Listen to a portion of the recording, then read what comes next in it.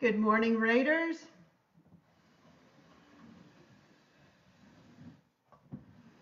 Welcome to Facebook Live and the Tadmore Morning News.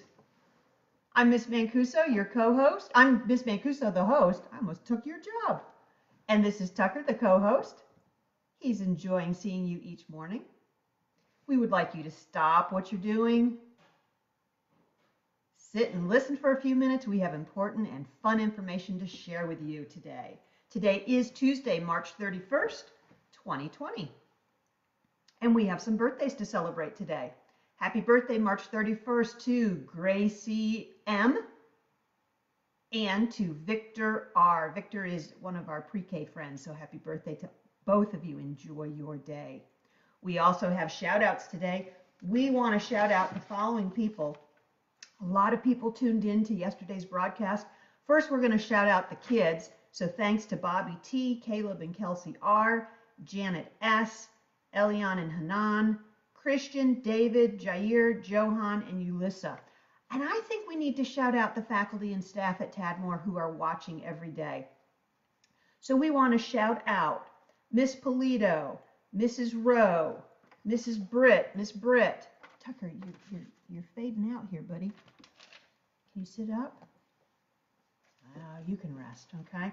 Miss Britt, Mrs. Kovach, Miss Ever Evanson, Mrs. Grizzle, Mrs. Brown in fifth grade, um, Miss Ann, one of our bus drivers, Mr. Lassiter, Mrs. Hensey, Mrs. Shire, Mrs. Faulkner, Mrs. Vakili, uh, Mrs. Davis, our uh, ESOL teacher, Mrs. Harper, Mrs. Stover and Kinsley, Mrs. Armour, Mrs. Lee, Miss O'Mara, um, Miss McWhorter, our OT um, uh, specialist, Miss Mrs. Brown, our EIP teacher, Mrs. Swagger, our former ESOL teacher, Miss Jennifer, our former custodian, and her daughter, Emily. So thank you all for tuning in. And if you want to be shouted out, all you've got to do is tell us that you are, oh, Tucker, Tucker, this is not protocol. The kids are over here. There they are. You have to stay on the news with me. If you would like your child's name shouted out, please just put your child's name in the comment box and we will take care of that for you. We have more shout outs. Mr. Lassiter would like to shout out these awesome Raiders who completed their Quaver music assignments last week. David G, Nissy F, Jacob H, Kyle H, Cameron R, Adon S, Asandra S, uh, Susanna R, Jasmine C, Nathan L, Elena D, and Ariana G. Don't forget, to check your Quaver assignments each week. So Mr. Lassiter thanks you very much. Uh, Mrs. Gillespie would like to shout out Sherry Lynn H. for turning in completed work. Good job, Sherry. Mrs. Arias would like to shout out Dylan, Caden, Gustavo, and Christopher com for completing their work uh, for Monday. Mrs. Faulkner would like to shout out Mrs. Riley and Mrs. Phillips for helping her with technology, for tech, helping her with technology and answering all of her questions. Mrs. Armour would like to shout out Aaliyah Becerra, who's completed 12 of the 20 topics on Flipgrid, and all the Raiders that helped reach the um, goal of 100 Flipgrids. Do you remember last week we set that goal? We said, can, can you reach 100? You know what? We reached it. Oh my gosh, we reached the 100. It deserves applause. Congratulations, Raiders. Okay, hold it, hold it down. They're really happy for you. You did it. You reached the 100 mark. Okay, okay, okay. Thanks for cheering everybody on. Well, Mrs. Armour has set a new goal. She said if you can do 100 by yesterday, we need to hit 150 before the end of this week and before we go on spring break. So can we do that? I think we can. So far, 100 videos have been seen, 1,977 views. Way to go, Raiders, and way to go, teachers, for posting the password on your Canvas and Google Classroom. So thank you. Miss O'Mara would like to shout out Kevin for reading a book to her on Zoom and his brother Christian for being there to help him. Mrs. Davis would like to thank the ESOL team for pulling together yesterday and getting the new choice boards ready for the kids for after spring break, and to all the students and teachers at Tadmore who have been so kind and helpful during the school from home. And she says, Tadmore, you rock. We have some announcements as well. We hope that you received your breakfast and lunch bag this morning. Remember, buses run from 8.15 to 9.30 each day. If students miss the meal delivery from the bus, a drive-through is set up. You can go over to school from 10 to 11 o'clock in the morning to pick up the meals. Also, boys and girls, if you've completed your papers um, from the paper packets, you may put them back in the envelope with your name on the papers and the envelope and give them back to one of the bus drivers and they will bring them back to school and deliver those to your teachers.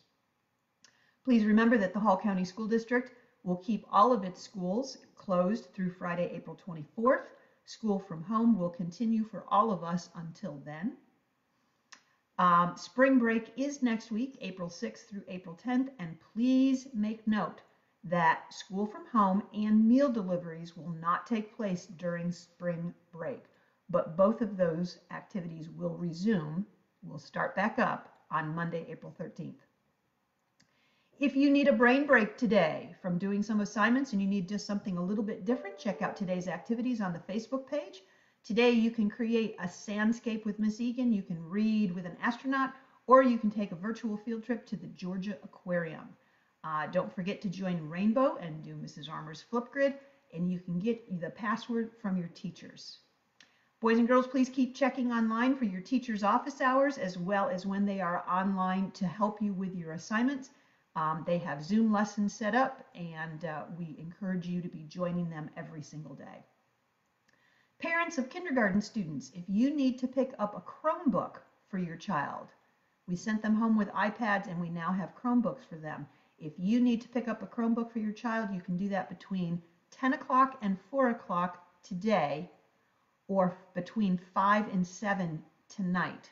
Just pull right up to the front door. Someone will come out and uh, ask you what you need and who your child is, and then they will be able to help you. Okay? Fifth graders. Um, from the fifth grade teachers, there is an important parent Zoom meeting tonight for fifth grade parents at 6.30. We look forward to seeing the parents online and giving you guys um, some information. Okay, so that's for fifth grade. Faculty and staff, don't forget we have a Zoom meeting at 4 o'clock this afternoon. If you have any questions, Again, you can call the school at 770-536-9929. You can call Mrs. Gower on her cell at 770-561-9891. Or you can call Mr. Davila um, at 470-354-6798. And um, if you need to speak in Spanish, please call Mr. Davila's phone. Okay? All right. So, Tuesdays. Tucker, do you remember what we do on Tuesdays? Yeah, it's analogy day. Do you remember how to do an analogy? Do you know what an analogy is? An analogy is um, a question or a problem to solve. It's kind of like a riddle in a way, but uh, an analogy is a comparison between two pairs of words, and they help us understand things by comparing them to something that we already know. Now, last week we did analogies that were opposites. Do you remember those? We did short is to tall, fast is to slow, up is to down. They were all opposite analogies. Well, today we're going to be talking about objects and where they belong. Okay, so we're going to be talking about an object and where they belong. So here's, here's the beginning of today's analogy. We're going to do this one together. All right, listen to this, this analogy. Ring is to finger as bracelet is to blank. So think about where it belongs. Anybody typing in answers on Facebook? Let's see. Ring is to finger as bracelet is to what? Or where? I actually have a little hint because I have rings and bracelets, okay? Ring is to finger as bracelet is to, what's this part of my body called right here? Yeah, wrist. Very good. If you guessed wrist, you did well. Okay, ring is to finger as bracelet is to wrist. So today, I'm going to give you the beginning of an analogy, and you will complete it by typing in your answers on the Facebook page, and we'll read out who wrote in the answers on tomorrow's broadcast. Okay? We're still talking about objects and where they belong. Okay? All right. And there, now you're going to be able to come up with something, and there's going to be multiple answers. So just remember multiple answers. Okay? Here, here we go.